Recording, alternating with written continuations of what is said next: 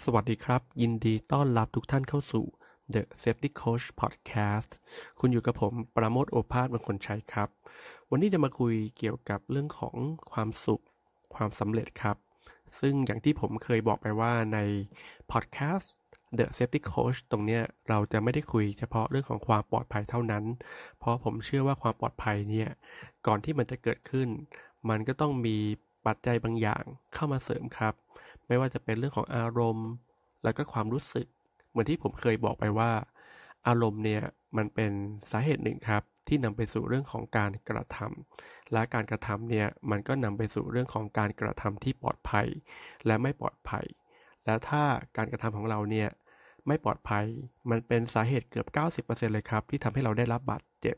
ดังนั้นเนี่ยการที่เราฝึกเรียนรู้ในการควบคุมอารมณ์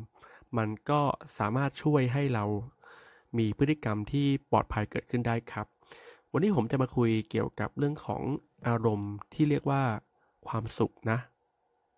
อันนี้ผมผมเรียกผมเองนะครับ ซึ่งจริงๆในหลักของทางจิต วิทยาเนี่ยความสุขมันอาจจะไม่เป็นอารมณ์ก็ได้ ผมไม่แน่ใจแต่ผมเรียกว่าเออเนี่ยความสุขก็ถือเป็นอารมณ์อันหนึ่งเหมือนกัน แล้วความสุขเนี่ยมันก็นำมาหลายๆอย่างเลยครับ ไม่ว่าจะเป็นเรื่องของสุขภาพที่ดี รวมถึงมุมมองที่เรามองต่อสถานการณ์นั้นๆครับ ดังนั้นเนี่ยเราจะรู้ว่าในยุคปัจจุบันมันเต็มไปด้วยความเร่งรีบ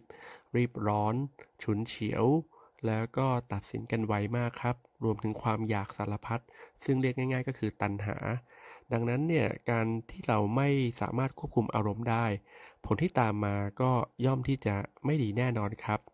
ดังนั้นเนี่ยสิ่งที่จะคุยวันนี้ก็คือเรื่องของการ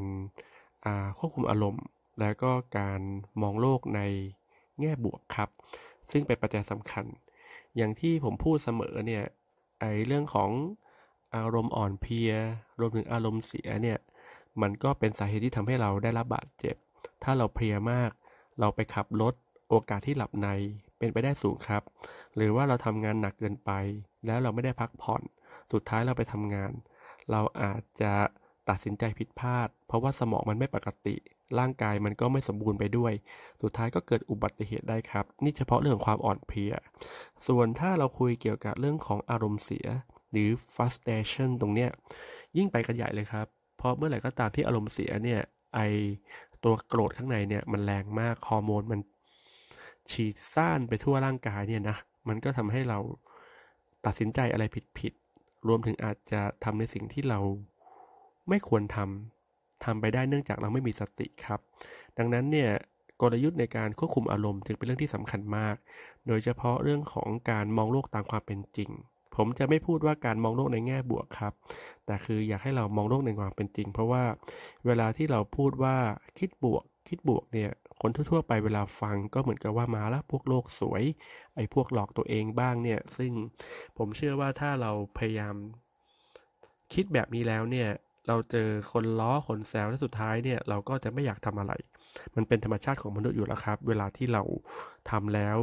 ผลที่ตามมาเนี่ยมีการต่อต้าน เราก็จะไม่อยากทำดังนั้นก็ให้เรามองโลกตามความเป็นจริง อันนี้สำคัญที่สุดครับ ต้องเข้าใจก่อนว่าในเรื่องร้ายๆที่เกิดขึ้นเนี่ยมันก็ย่อมมีเรื่องดีๆ ซ่อนอยู่ครับ แต่น่าเสียดายที่คนส่วนใหญ่มักจะมองแล้วก็ค้นหาแต่เรื่องร้ายๆ หาเจออย่างเดียวไม่พอครับ เก็บเข้ามาด้วย และเก็บไว้นานด้วยนะครับ แบบนี้เขาเรียกว่าการเก็บในสิ่งที่เป็นเรื่องลบๆ เรื่องร้ายๆ และหนำซ้ำเนี่ย เราถูกความคิดหลอกอีกครับ หลอกให้เชื่อว่าสิ่งที่เราเก็บมาเนี่ยเป็นสิ่งที่ดี และเก็บไว้นานเลยสุดท้าย มันไม่ได้ทำร้ายใครครับทำร้ายตัวเราเอง นั่นหมายความว่า เอ๊ะ อะไรที่เกิดขึ้นเนี่ย มันย่อมดีเสมอ ก็หมายความว่ามันมีสิ่งดีๆ ซ่อนอยู่ แต่เรากลับไม่มองสิ่งดีๆ ที่มันเกิดขึ้นครับ ยกตัวอย่าง ถ้าสมมติว่าเราอกหักอย่างเงี้ย สิ่งที่เกิดขึ้นแน่นอนคือเสียใจครับ นอนไม่หลับ เพลีย ไปทำงานก็มีโอกาสเกิดความผิดพลาดในการทำงานได้ครับ แล้วก็นำไปสู่การเกิดอุบัติเหตุ แต่ถ้าเราปรับมุมมองใหม่เนี่ยมองว่าไอการอกหักเนี่ยมันก็เป็นเรื่องที่ดีนะ มันทำให้เรารู้ว่าความผิดหวังเนี่ยเป็นยังไง แล้วก็ ตัวเราเนี่ยมีอะไรที่ต้องปรับปรุงเพิ่มขึ้น เรารับใครสักคนเข้ามาในชีวิตเราง่ายเกินไปหรือเปล่า หรือเวลาที่เราเลิกกับใคร เรามีใหม่เร็วไปไหม ซึ่งช่วงนั้นเป็นช่วงที่สติไม่ดีครับ บางคนถึงขนาดที่เรียกว่าหมูหมากาไก่กูก็เอาเนี่ย ซึ่งซึ่งซึ่งไม่ดีเลย และสุดท้ายก็จะมักได้สิ่งที่ไม่ดีเข้ามาซ้ำเติมจิตใจอีก ก็ให้มองว่าเออ มันเป็นข้อดีนะ ให้เรารู้จักคำว่าผิดหวัง แล้วทำให้เรารู้ว่าเนี่ยผู้ชายแต่ละคนเป็นยังไง และได้รู้ว่าเราจะต้องมีวิธีการจัดการตัวเองอย่างไรบ้าง เราจะพัฒนาตัวเองอย่างไงครับ อันเนี้ยก็คือวิธีการง่าย ๆ ในการที่มองโลกตามความเป็นจริง เรื่องลายๆที่เกิดขึ้น มันก็จะมีเรื่องดีๆ ซ่อนอยู่เสมอครับ อย่างถ้าเราทำงานในเรื่องความปลอดภัยอย่างเงี้ยอุบัติเหตุเกิดขึ้นครับ มันคือการเรียนรู้ แต่คนกลับมองว่าเป็นเรื่องที่ร้ายแรงเรื่องที่ไม่ดี คุยเรื่องเซฟตี้คืออัปมงคลของชีวิต ซึ่งมันไม่ใช่ครับ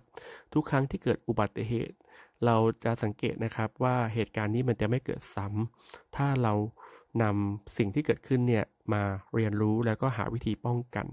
แค่นี้เองครับ ก็คืออุบัติเหตุเนี่ยมันมีไว้สำหรับเรียนรู้ครับ และสิ่งที่เราเรียนรู้เนี่ยก็ต้องนำไปใช้ในการป้องกันไม่ให้เกิดซ้ำถ้าสมมุติว่ามันไม่เกิดเลยเนี่ยก็คงจะมีเรื่องร้ายๆเกิดขึ้นมากมายแต่ไปหมดครับ อย่างสมัยก่อนเรามีพวกโรคระบาดไข้ทรพิษ อย่างเงี้ยนะครับ ปัจจุบันมันก็หายไปก็เนื่องจากเราเรียนรู้ที่จะป้องกันมัน นั่นหมายความว่าเราเรียนรู้ได้ทุกอย่างจริงๆครับ แม้กระทั่งในวันที่เราเจ็บป่วย เวลาเจ็บป่วย มันมีข้อดีอะไรบ้างถามตัวเองแบบนี้เนาะมันมีข้อดีอะไรบ้าง ถ้าอาการเจ็บป่วยเนี่ยมันมีข้อดีก็คือ 1. เราได้มีเวลาอยู่กับตัวเองครับ ไม่ไปบ้าหาเงิน ไม่ตะบี้ตะบันไปทำนู่นทำนี่ที่มันไร้สาระ มีเวลานอนอ่านหนังสือดีๆ สักเล่ม แล้วก็ได้เห็นความรักของพ่อแม่พี่น้องนะครับ มาเยี่ยม นี่แหละสิ่งที่เกิดขึ้นครับ อย่างเพื่อนผมคนนึงเป็นมะเร็งเนี่ย เธอก็เล่าให้ฟังว่า ในวันที่เธอเป็นมะเร็งเนี่ย ทุกอย่างมันพังพินาศไปหมดแล้วครับ หมดความหวังแทบจะทุกอย่างเลยทีเดียว แต่ปรากฏว่าคนที่เป็นห่วงเธอมากที่สุดเนี่ยก็คือพ่อแม่ครับ โดยเฉพาะพ่อแม่เนี่ยมาเยี่ยมทุกวันมาป้อนข้าวเหมือนเราเป็นเด็กอ่อนเลยทีเดียว นี่แหละเขาเลยต้องขอบคุณเกี่ยวกับอาการเจ็บป่วยก็คือเรื่องของโรคมะเร็งที่ทำให้ เขาได้เห็นความรักของพ่อแม่ชัดเจนมากขึ้น และหลังจากที่หายจากการเป็นมะเร็งแล้วเนี่ยก็กลับมาออกกำลังกาย กินอาหารที่มีประโยชน์ แล้วก็ฝึกการทำสมาธิจเจริญสติควบคุมอารมณ์นะแล้วก็มีเพื่อนมากขึ้น เนื่องจากเราเริ่มมีเมตตามากขึ้น ก็เกิดจากการที่เราเมตตาตัวเองครับ นี่แหละคือสิ่งที่มันเกิดขึ้นก็คือเรื่องของการที่เราเริ่มที่จะ มองเห็นเรื่องดีๆ ที่เกิดขึ้น อย่างอีกหนึ่งตัวอย่างถ้าสมมุติเราอยู่ในรถ กรุงเทพเป็นรถติดมากนะครับ แล้วก็อยู่กับลูกสองคน ปรากฏว่ารถติดหงุดหงิดมาก ลองถามลูกสิครับว่าเออเนี่ยรถติดแบบนี้มันมีข้อดีอะไรบ้าง เด็กอาจจะบอกว่าก็ดีนะป้าป้าคือรถติดเนี่ยเราได้อยู่ด้วยกัน แล้วก็ได้คุยกันมากขึ้น เพราะว่าปกติเราไม่ค่อยได้คุยกันเท่าไหร่ เราเห็นไหมครับว่าแม้กระทั่งเด็กเองเนี่ยเขาก็มองเห็นข้อดีๆ นั่นหมายความว่า การที่เราเนี่ยมองโลกตามความเป็นจริงครับ มองในทุกมิติว่ามันมีเรื่องร้ายเรื่องดีอะไรบ้าง แล้วเราเลือกมองในเรื่องที่ดีเนี่ยว่าเราจะทำยังไงให้เรามีความสุข ส่วนเรื่องที่ร้ายเนี่ยเราก็เรียนรู้ไปครับว่ามันเกิดขึ้นเพราะอะไร จะได้แก้ไขกันไป มนุษย์ก็เป็นแบบนี้ครับ ก็คือว่า เราก็ต้องเจอปัญหาเจอความทุกข์ หน้าที่ของเราก็คือว่าต้องดับทุกข์โดยมองโลกตามความเป็นจริง มันอยู่กับเราไม่นานหรอกครับ เดี๋ยวมันก็ไปแค่นี้เองนะนั่นหมายความว่าเรื่องของ safety การที่เราฝึกมองในหลาย ๆ มิติเนี่ยมันก็ช่วยทำให้เราเห็นว่าเนี่ยสาเหตุที่คนบาดเจ็บ เกิดอุบัติเหตุเพราะว่าอะไร ก็เพราะว่าเขามองโลกในแง่ร้าย มองโลกในแง่ลบ แล้วก็อาจจะไม่ได้ สังเกตว่ามันเกิดอะไรขึ้นในจิตใจนะครับ รับแต่เรื่องลบๆร้ายๆเสพข่าวไม่ดี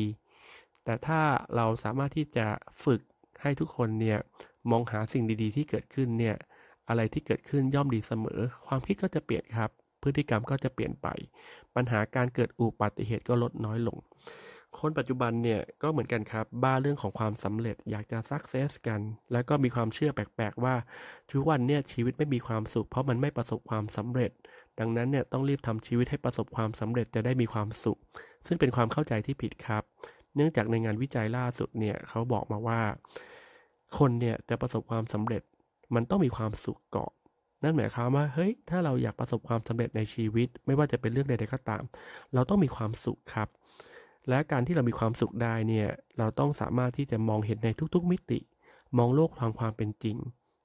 มันก็จะช่วยให้เรามีความสุขในชีวิต แล้วก็มีความปลอดภัยในการทำงานครับ ขอบคุณทุกท่านที่ติดตาม The Safety Coach Podcast ครับ แล้วก็ขอให้ทุกท่านทำงานด้วยความปลอดภัย พฤติกรรมความปลอดภัยสร้างได้ สวัสดีครับ